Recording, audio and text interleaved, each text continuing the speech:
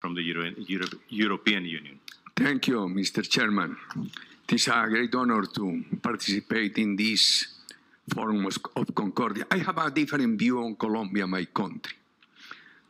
For instance, my question is how can this country achieve sustainable development goals?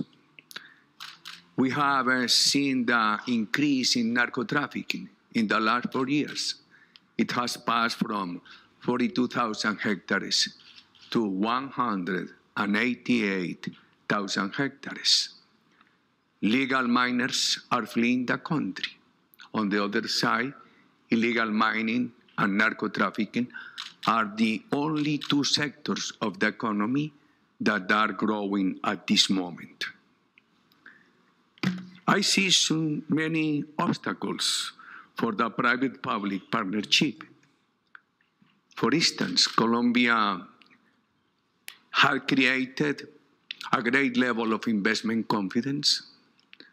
And in the last year, for first time, we saw a decline in gross capital formation. It um, decreased by 3.6%. And in the first quarter of this year, we have uh, seen the same negative performance in investment confidence. We have dismantled incentives for investment, and at the same time, we drop the legislation to allow the government to sign pacts on stability with the private sector.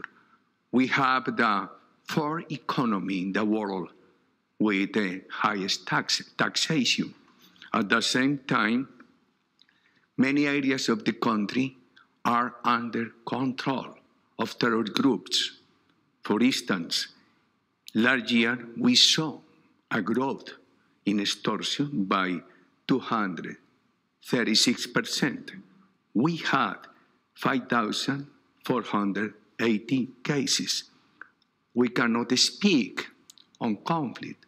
We cannot speak on post conflict in a country that has been a rule of law.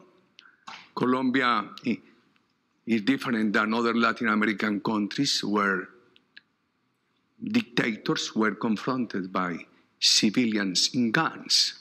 In Colombia, we have enjoyed the rule of law, and the rule of law has been confronted by narco terrorist groups. FARC enjoys full impunity, and the country is worse. FARC is the largest cocaine cartel over the world. Therefore, I, I have many doubts on the possibility for my country on the path it is on at this moment to achieve the sustainable development goals. Thank you, sir.